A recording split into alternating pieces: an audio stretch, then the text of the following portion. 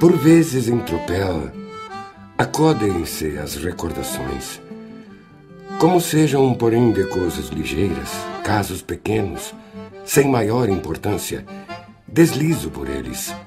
São fatos acontecidos de momento, num repente, e não como outros, em que houve circunstâncias especiais e mais longas. Por exemplo, dentre outros, recordo-me agora destes que anoto apenas por descargo de consciência. Aí vão eles. Um talho. Uma tive eu, e creio que outra faca igual não apareça. Deu-ma o compadre Mingote Pereira, infelizmente já falecido. Deus lhe fale na alma. Era a faca, de tempera muito dura, mas depois de agarrar corte admirável. Podia-se atirar para o ar um fio de teia de aranha que antes dele cair a faca cortava-o quantas vezes se quisesse, tendo boa vista. Um dia, na casa da sogra do dito meu compadre Mingote, houve uma jantarola.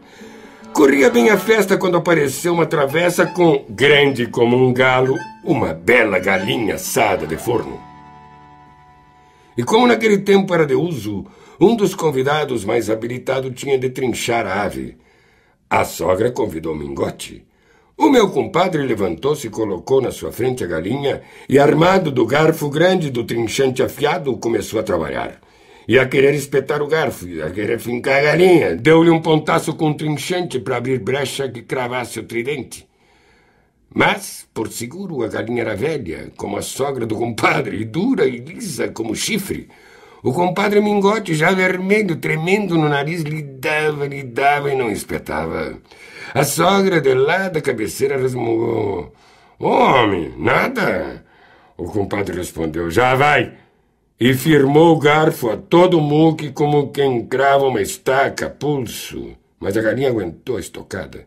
E conforme o garfo bateu-lhe no costado, escorregou e furou o prato e cravou-se na tábua da mesa espirrou molho gordo como chuva.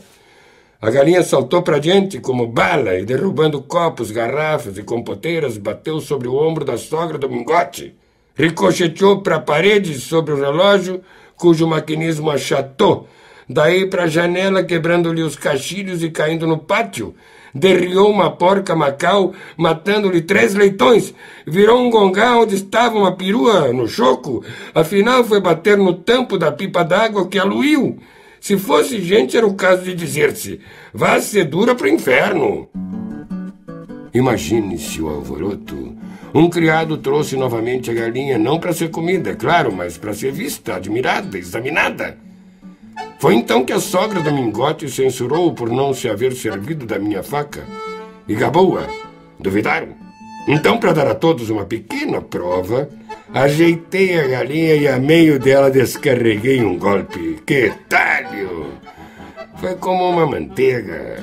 Cortei ao meio a galinha, o prato, a mesa, atorei pelo joelho a perna do vizinho da esquerda, o pé da cadeira onde ele se sentava, a tábua do assoalho e o barrote.